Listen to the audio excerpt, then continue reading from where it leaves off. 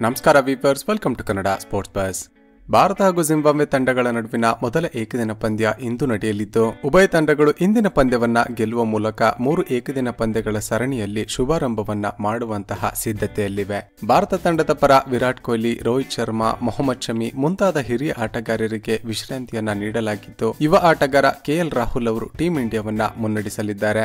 ಅದರಂತೆ ಭಾರತದ ಸಂಭಾವ್ಯ ಪ್ಲೇಯಿಂಗ್ ಇಲೆವೆನ್ ಹೇಗಿರಲಿದೆ ಅಂತ ನೋಡೋದಾದ್ರೆ ಕೆಎಲ್ ರಾಹುಲ್ शुभमन गिल शिखर धवन, राहुल त्रिपाठी, संजू सैमसन, दीपक हुडा, अक्सर पटेल, शार्दुल ठाकुर, शहबाज अहमद, आवेश खान मोहम्मद सिराज ಸ್ನೇಹಿತರೆ, ನಿಮ್ಮ ಪ್ರಕಾರ ಇಂದು ನಡೆಯಲಿರುವ ಮೊದಲ ಏಕದಿನ ಪಂದ್ಯವನ್ನ ಗೆಲ್ಲಬಹುದಾದ ಫೇವರೇಟ್ ತಂಡ ಯಾವುದು ಅಂತ ಕೆಳಗಡೆ ಕಮೆಂಟ್ ಮಾಡಿ ತಿಳಿಸಿ. ಇದೇ ರೀತಿಯ ಸ್ಪೋರ್ಟ್ಸ್ ನ್ಯೂಸ್ ಅಪ್ಡೇಟ್ಸ್ ಹಾಗೂ ವಿಡಿಯೋಸ್ಗೋಸ್ಕರ ಈ ಚಾನಲ್ ಅನ್ನ ಸಬ್ಸ್ಕ್ರೈಬ್ ಮಾಡಿಕೊಂಡು ಪಕ್ಕದಲ್ಲೇ ಇರುವ ಬೆಲ್ ಐಕಾನ್ ಅನ್ನ ಕ್ಲಿಕ್ ಮಾಡಿ.